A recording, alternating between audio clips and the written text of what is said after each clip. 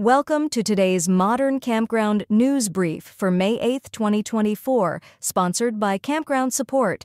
Campground Support is a call center for RV parks that aims to enhance customer service experiences and help increase bookings. Discover how Campground Support can help your business at campgroundsupport.com. KOA hosts annual Camp Spring meeting at new headquarters in Billings. Kampgrounds of America welcomed attendees at the annual spring meeting of the Campground Association for Management Professionals underway at KOA's newly opened headquarters in Billings, Montana. The event, scheduled from May 7 to 8, convened leaders from the outdoor hospitality industry to share insights and strategies for elevating campground experiences across North America. Pathfinder expands into eastern Canada with management agreement and ROFR for five RV parks. Pathfinder Ventures is expanding into eastern Canada.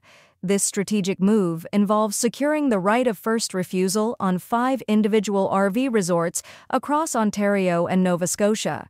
Starting in 2024, Pathfinder will not only manage these properties, but also aims to solidify its footprint in these key recreational areas. This expansion will increase Pathfinder's total managed properties to nine, enhancing their portfolio with seasonal offerings, perfect for both long term and vacation travelers. CCRVA announces nationwide celebration for 9th Annual Canadian RV and Camping Week.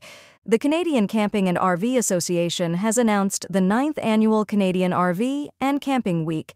This nationwide celebration is a nod to the vibrant camping culture across Canada, emphasizing the joys of RV living and outdoor experiences.